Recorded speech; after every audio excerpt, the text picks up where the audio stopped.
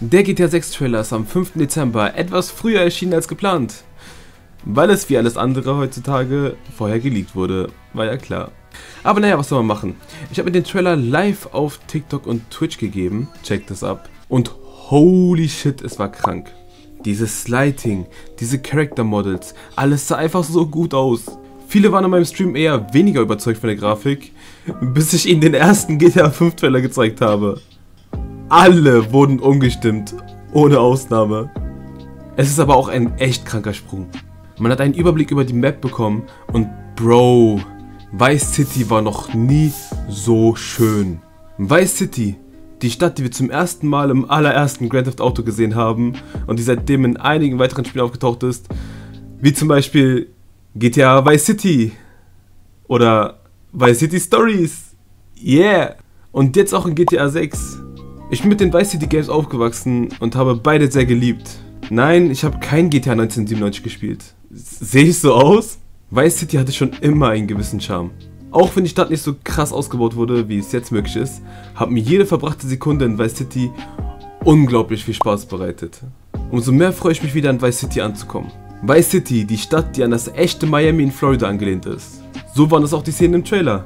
Alle diese Szenen waren an echte Ereignisse in Miami angelehnt. Der Florida Joker ist sogar mad geworden, dass es einen Charakter gab, der an ihn angelehnt war. GTA war schon immer eine Sozialkritik und dass Rockstar Games so etwas einbaut, zeigt wie viel Liebe auch wieder in dieses Game gesteckt wird. Sogar auf den Banknoten steht United States of Paranoia anstatt United States of America was eine Anlehnung an ein Buch von Jesse Walker ist, welches von Verschwörungstheorien handelt und wie man diese auffassen sollte. Es sind alles so kleine Details, die zeigen, dass Rockstar Games sich sehr viel Mühe für dieses Game gibt. Liebe zum Detail steckt jedoch auch in den Charakteren und den NPCs. Alle Arten von Menschen sind vorhanden. Alle Arten von Körpern, aber holy shit, ich bin nicht schwul, aber warum sieht das so fucking gut aus? Brazilian Buttlifts gibt's jetzt auch.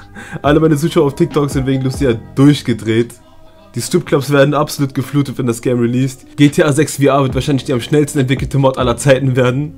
Menschen geht's ehrlich nicht gut. Kommen wir aber zu einem etwas sexieren Thema. Autos.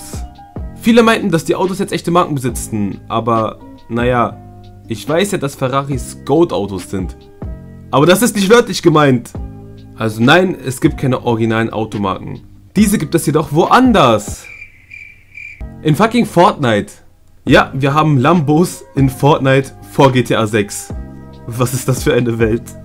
Benutzt meinen Creator Code DraggyYT im Epic Games Store und in Fortnite. Kuss. Die Autodesigns selber fand ich jetzt nicht so krass, waren halt die Standardautos. Für das meiste müssen wir wohl auf den GTA Online Trailer warten. Diese Designs waren jedoch meine liebsten. Ah, shit, sorry, ich habe mich ablenken lassen. Ich freue mich auf jeden Fall sehr lustig zu spielen. Anscheinend wird man dieses Mal am Anfang des Games den Charakter wählen müssen, also kann man nicht wie bei Michael, Franklin und Trevor einfach so wechseln. Es ist 4.30 Uhr morgens, ich habe die Game Awards gerade geschaut, ich bin down auf Lucia und weiß ehrlich nicht mehr, was ich sagen soll, außer der fucking Budokai Tenkaichi 4 Trailer ist einfach gedroppt. Sorry, äh, ich meinte eigentlich. GTA 6 wird ohne Frage das Game, das dieses Jahrzehnt am meisten prägen wird. Schon am ersten Release-Tag des Trailers wurden sämtliche Rekorde gebrochen und das wird zum Release des Games nicht anders sein. Das Game wird riesig sein. Leaks gehen von einer 2,5 mal so großen Map wie in GTA 5 aus, mit drei Großstädten und vier kleineren Orten. Das ist so viel. Es ist nur schade, dass man zum Release leider eine PlayStation 5 oder Xbox Series X bzw. Series S brauchen wird. Also ein großes F an alle PC-Spieler. Was haltet ihr vom GTA 6 Trailer und wie gehypt seid ihr auf fucking GTA 6?